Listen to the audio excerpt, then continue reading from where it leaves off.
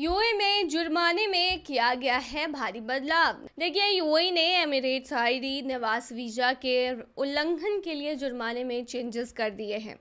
संयुक्त अरब अमीरात में पहचान, नागरिकता, सीमा शुल्क और बंदरगाह सुरक्षा, यानी कि आईसीपी के लिए संघीय प्राधिकरण ने अमीरात आईडी कार्ड, निवास सेवाओं और विदेशियों के मामलों में संबंधित विभिन्न प्रकार के प्रशासनिक उल्लंघनों को रेखांकित किया है।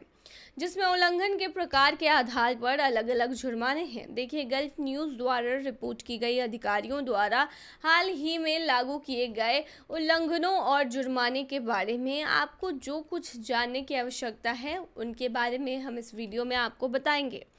पहला जुर्माना जो चेंज किया गया है, इसमें आपको 500 सौ दिरहम का जुर्माना लगेगा। देखिए, ऐसे लेन देन जो प्रस्तुत करना, जो उस सुविधा से संबंधित नहीं है, जिसमें व्यक्ति काम करता है तो 500 सौ दिरहम का जुर्माना लगेगा। ई दिरहम जिसे फौरी भी कहते हैं, के माध्यम से लेन देन दर्ज करना, जो उस सुविधा से संबंधित नहीं है जिसके लिए व्यक्ति काम करता है। अगर ऐसा करते हुए पाए जाते हैं तो पाँच सौ दिरहम का जुर्माना लगेगा। प्रतिनिधि द्वारा लेन देन प्रस्तुत करते समय एमिरेट्स कार्ड न ले जाना, इस पर भी जुर्माना लगेगा। सेवा प्रावधान केंद्रों में कार्य प्रणाली का उल्लंघन करते हुए पाए जाते हैं तो पाँच सौ दिरहम तैयार रखिएगा, आपसे लिया जाएगा। जुर्माने के तौर पर वहीं क्षेत्र को दिए गए जो वचन है, यानी कि जो स्टेटमेंट है, उसका पालन अगर आप नहीं करेंगे तो इसके लिए भी 500 सौ का जुर्माना देना होगा। आप चलिए बात करते हैं पाँच हज़ार दरहम का जुर्माने के बारे में। तो देखिए सिस्टम का मिसयूज़ करते हुए पाए जाते हैं तो पाँच हज़ार दरहम का जुर्माना लगेगा। लेन देन को पूरा करने के लिए ज़िम्मेदारी, जिम्मेदार क्षेत्र के कर्मचारियों के काम में अगर आप बाधा डालते हुए पाए जाते हैं, उन्हें डिस्टर्ब करते हुए पाए जाते हैं तो पाँच हज़ार आपसे लिए जाएँगे जुर्माने के तौर पर। सेक्टर कर्मचारियों के साथ सहयोग करने में फेलियर अगर होता है तो इसके लिए भी जुर्माना लगाया जाएगा। सिस्टम यूज़र द्वारा सर्विसेज़ प्रोवाइड करने के परिणाम स्वरूप अगर फाइनेंशियली लॉस होता है और उसकी क्षतिपूर्ति आप नहीं कर पाते, उसमें फेल हो जाते हैं तो ऐसे में भी आप पर जुर्माना लगेगा। किसी ऐसे कंपनी या प्रतिष्ठान को जो वीज़ा या प्रवेश परमिट जारी करती है, किसी भी एक्टिविटी में अटैच नहीं है। ऐसे कंपनी में के आईडी कार्ड को रजिस्टर्ड करने में और जारी करने में लेट हो तो ऐसे में भी जुर्माना लगाया जाएगा। साथ ही एक्सपायरी डेट से तीस दिनों के बाद एमिरेट्स कार्ड को रिन्यू करने में अगर देरी होती है तो भी पाँच हज़ार दरहम का जुर्माना लगाया जाएगा। वहीं अन्य फ़ाइन की बात करेंगे तो देखिए सिस्टम यूज़र से आवेदन प्रिंट करने में इनक्वेरेसी यानी कि अशुद्धियाँ होंगी उसके लिए जुर्माना सौ दरहम रखा गया है। जब सर्विसेज़ रेसिपेंट्स को गलत डेटा प्रदान करने के लिए जुर्माना जो है, वो तीन हज़ार दरहम रखा गया है। इसके अलावा किसी भी एक्टिविटी में अटैच नहीं होने वाले कंपनी को वीज़ा या प्रवेश परमिट जारी करने के लिए जुर्माना बीस हज़ार दरहम रखा गया है। देखिए, विशेष रूप से आईसीपी के अकॉर्डिंग अमीरेट्स आईडी और निवास परमिट यानी रेजिडेंसी परमिट के धारक को वैलिड रीजंस होने पर समाप्ति तिथि से दो महीने पहले तक उन्हें रिन्यू करने के लिए आवेदन कर सकते हैं। विशेष मामलों में, यानी कि कुछ स्पेसिफिक केसेस में छः महीने पहले इसे रिन्यू करने के लिए निवास और विदेश मामलों के निदेशालय, यानी कि ए से विशेष परमिशन ली जा सकती है। वहीं कुछ जुर्माने से छूट भी दी गई है।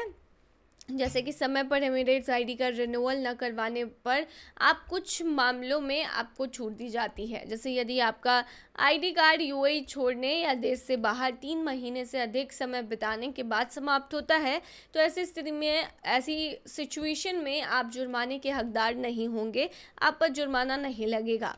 यदि आपका पासपोर्ट किसी मुकदमे के तहत रोक दिया गया है तो एक लेटर या रसीद द्वारा आप रिपोर्ट उसका कट सकते हैं और इस दौरान आप पर जुर्माना नहीं लगेगा। यदि आप अमीराती नागरिकता प्राप्त करने और पारिवारिक पुस्तक प्राप्त करने के, से पहले अपनी आईडी प्राप्त नहीं करते हैं तो ऐसे में भी आप पर जुर्माना नहीं लगेगा। उल्लंघनों की जाँच करने के लिए Dubai police Abu Dhabi police G D R F A R T A आंतरिक मंत्रालय और I C P happiness centre की वेबसाइटों पर आप जा सकते हैं। तो ये थी नए अपडेटेड जुर्माने। जिसके बारे में मैंने आपको बताए हैं तो ये थी तमाम जानकारी। बने रही ऐसी तमाम खबरों के लिए यूएई खबर पर। दुबई में कपड़ों की दुकान पर मैंने क्वीन की तरह खड़ी दिखी महिला। बार बार कर रही थी पोज इंटरनेट ने कहा कि इन ह्यूमन बिहेवियर। देखिए, अभी दुबई के एक मॉल में कपड़ों की दुकान पर पुतलों के बगल में खड़ी एक मॉडल का वीडियो वायरल हो गया है सोशल मीडिया पर।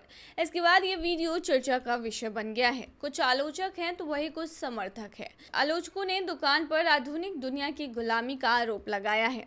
मॉडल द्वारा इंस्टाग्राम पर शेयर की गई क्लिप में वो दुबई फेस्टिवल सिटी मॉल में अप्रैल ब्रांड मोन्टो ब्राइड के स्टोर पर पुतलों के बगल में खड़ी दिखाई दे रही हैं। इंस्टाग्राम पर एंजेलिना के नाम से जाने जाने वाली महिला स्टोर के सामने एक प्लेटफॉर्म पर खड़ी थी। उसके बाद उनकी एक ड्रेस और स्टिलेटो हिल्स पहन रखी थी। वह लगातार पोज बदल रही थी ताकि आने जाने वाले खरीदारों का ध्यान अपनी ओर खींच सके। मॉडल द्वारा शेयर किए गए वीडियो ने इंस्टाग्राम पर तेज़ी से लोकप्रियता हासिल कर ली, जिसे तेरह हज़ार से अधिक बार देखा गया और सैकड़ों लाइक्स मिले। हालाँकि यह लविन दुबई का रिपोस्ट था, जिसने वीडियो को सुर्खियों में ला दिया। इस वीडियो को पाँच लाख उनसठ हज़ार बार देखा जा चुका है। दस हज़ार से ज़्यादा इसे लाइक मिले हैं। वीडियो ने सोशल मीडिया पर चर्चा को ज़ोर दे दिया है, जबकि कुछ लोगों को मार्केटिंग स्ट्रैटेजी बहुत ही क्लेवर आइडिया लगी। दूसरों को लगा कि यह बहुत ही अपमानजनक और टेस्टलेस है। एक उपयोगकर्ता ने लिखा कि यह इनह्यूमन है।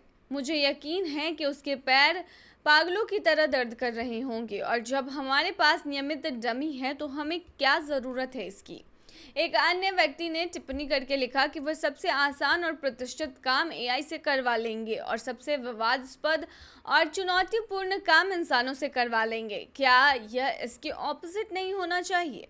एक तीसरे उपयोगकर्ता ने पोस्ट किया कि हर दिन हम खुद को शर्मिंदा करने के नए तरीके खोजते हैं। एक यूज़र ने लिखा कि उसने ऐसे कपड़े क्यों पहने थे? अगर उसे वहाँ रखा गया था तो कम से कम उसे उचित कपड़े पहनाए जाने चाहिए थे। परिवार और बच्चे आसपास है यह कोई नाइट क्लब नहीं है। हालाँकि आलोचना के बावजूद कुछ सोशल मीडिया यूज़र्स ने मॉडल के प्रयासों की प्रशंसा की। एक यूज़र ने लिखा कि हर कोई कह रहा है कि यह गुलामी है, अमानवीय है, असुविधाजनक है। बाकी सभी की तरह हम सभी को काम पर अपनी असुविधा होती है, हम सभी को कुछ दर्द होता है। चाहे वह पैरों में हो, हाथों में हो, जो भी हो, उसे उतना ही भुगतान मिल रहा है जितना हमें मिलता है। साथ ही मॉल में सुरक्षा गार्डों के बारे में भी सोचिए। वे भी हर वक्त खड़े रहते हैं। सबको परेशान मत करो। हर सभी हम सभी संघर्ष कर रहे हैं और यही चीज़ें हमें मज़बूत बनाती हैं। तो सबके अलग अलग ओपिनियंस थे और सभी ने अपने अपने ओपिनियंस दिए। आप क्या सोचते हैं इस वीडियो के बारे में हमें कमेंट सेक्शन में ज़रूर बताइएगा। दुबई की फ़्लाइट की एमरजेंसी लैंडिंग कराई गई। देखिए, एयर इंडिया दुबई से लखनऊ पहुँचाने वाली फ़्लाइट की अचानक दुबई एयरपोर्ट पर इमरजेंसी लैंडिंग कराई गई।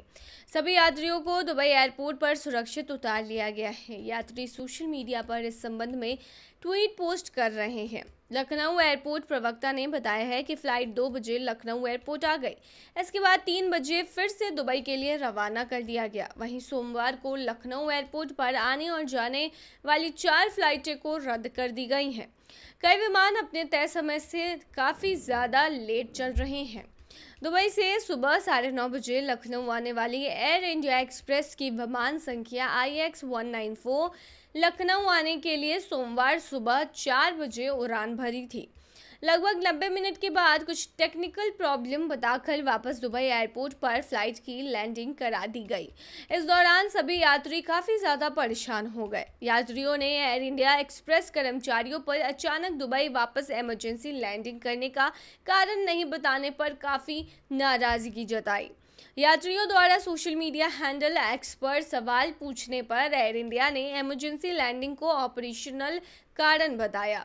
देखिए, लखनऊ एयरपोर्ट पर सोमवार को स्टार एयर की उड़ान संख्या S five double two three, जो कि पंद्रह बजे लखनऊ से किशनगंज के लिए रवाना होती थी, कैंसिल रही। इंडिगो की शाम में उन्नीस बज के पचास मिनट पर लखनऊ से बैंगलोर जाने वाली फ़्लाइट रद्द कर दी गई। इसी तरह बैंगलोर से शाम नौ बज के बीस मिनट पर लखनऊ आने वाली flight six four five one cancel हो गई। किशनगंज से दोपहर चौदह बज के पच्चीस मिनट पर आने वाली स्टार एयर की विमान संख्या एस फाइव डबल टू भी सस्पेंड रही है। इसके साथ ही लखनऊ से मुंबई जाने वाली इंडिगो फ़्लाइट एक घंटा इंडिगो की दिल्ली जाने वाली एक घंटा, आकाशा एयर की मुंबई जाने वाली फ़्लाइट एक घंटा, लखनऊ से मुंबई जाने वाली इंडिगो की फ़्लाइट डेढ़ घंटे लखनऊ से दुबई जाने वाली एयर इंडिया एक्सप्रेस चार घंटे और लखनऊ से मुंबई जाने वाली एयर इंडिया की फ़्लाइट एक घंटा विलंबित रही, यानी कि लेट रही। इसके साथ ही लखनऊ एयरपोर्ट पर आने जाने वाले कई विमान अपने निर्धारित समय से एक से लेकर चार घंटे तक देरी से ऑपरेट हुए। लखनऊ एयरपोर्ट पर फ़्लाइट की लेट लतीफ़ी और अचानक फ़्लाइट कैंसिल कर दिए जाने को लेकर यात्रियों ने हंगामा किया। वहीं कुछ यात्री अचानक फ़्लाइट रद्द होने और लेट लतीफ़ी से काफ़ी परेशान दिखे। यात्रियों का साफ़ तौर से कहना था कि अचानक ही फ़्लाइट में देरी होने और निरस्त होने के कारण काफ़ी समस्याओं का लोगों को सामना करना पड़ा।